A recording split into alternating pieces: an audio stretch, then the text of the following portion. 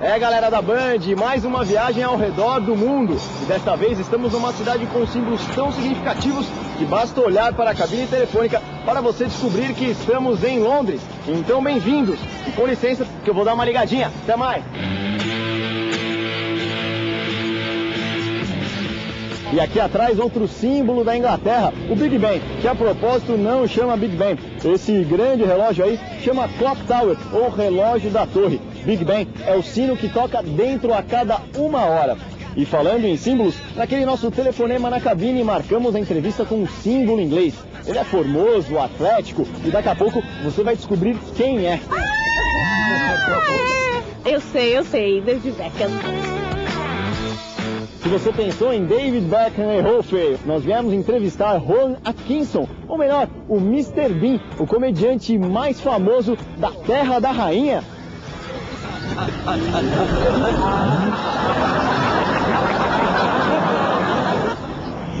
Yeah, hello, Mr. Bean. Oh, he's lovely. If I was gay, I would marry him, man.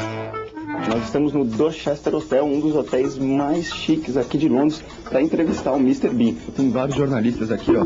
Todo mundo esperando, na boa vida, com comidinha, bebidinha, para fazer entrevista. E cada um tem seis minutos, por isso, ó, o ideal é escrever o que vai falar, para aproveitar certinho o tempo. Eu espero não me decepcionar, porque ele é um ator cómico, mas eu acho que na vida real deve ser um bocadinho mais antipático. Espero que não. Chegou a hora, tô na porta do quarto do Mr. Bean para entrevistá-lo. Ó, e trouxe uma camisa para ele de presente, um time de futebol muito famoso no Brasil. Vocês vão ver só. Vamos lá, é agora. Do you support any soccer team? No. No, I think I'm going to say no because I'm nervous about saying what soccer team I might have have have a sympathy towards. But but but no, I don't actually. I'm open to offers. Now you're gonna have a soccer team. Very good. That's, It's Capivariano from Brazil. It's Right. the greatest team from Capivari City in São Paulo. Okay, very good. It's yours. Well, thank a you. Well, thank you very Number much. 10. It's my souvenir. Yeah, It's it's my souvenir. Well, now I've got a soccer team to support. yeah, for sure. I hope they're worth supporting. Are they good? Yeah, it's a great team. Are they the good? best team of the city. Right, right, very good. There's Well, line well, well, in that. that case, I will support them with all my heart and all my devotion. Th- thank you very much indeed. That's Okay. great. Capivariano, rei, leve adiante. You ride a bike in your show. We already saw. You're playing golf, fighting judo. Are you Yes. a sportsman? Uh, no, I'm not at all. No, I'm I'm hopeless. I always have been. I, at school, I was always hopeless at all games. I think actually I had a I had a psychological objection to to games. I didn't like the idea of doing. You know what everyone else was doing. It was the teamwork, the, you know that I didn't like.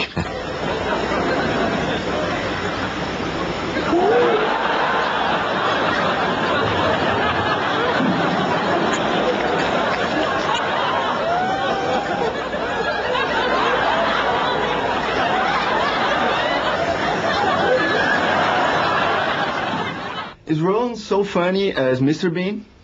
Uh, no.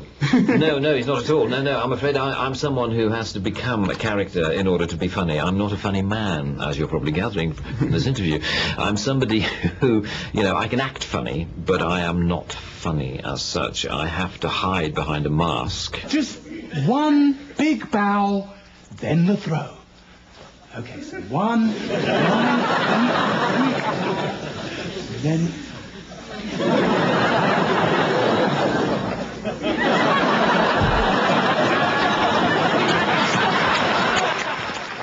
You're so loved in Brazil. People love your show in Brazil. Yes, I know. Well, I, I'd like to come to Brazil. I've never been. Uh, I hear that Mr. Bean is very popular in Brazil. Whether that's true or not, I don't know. Um, but I'm, you know, I'm very aware of the country. But I'm, and I'm, but I'm just sorry I haven't been. You know, one day I will try to redress the balance.